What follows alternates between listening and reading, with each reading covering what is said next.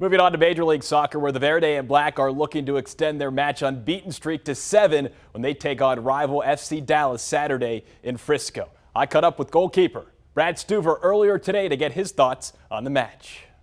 I think this sets it up for like a fun conclusion. I mean, it came down to us and Dallas last year. Um, it'll come down to us and Dallas again here in Dallas again. Uh, we have a little bit of unfinished business with them. Um, we're still looking for our first win against them. So, I mean, the energy's there. We're buzzing. Um, we're in a good uh, mental space right now, but uh, it's going to be a tough game. They're a good opponent, and uh, we're looking forward to it. That game, 8 p.m. Saturday, and if Austin FC wins or draws, they get this year's Copa Tejas.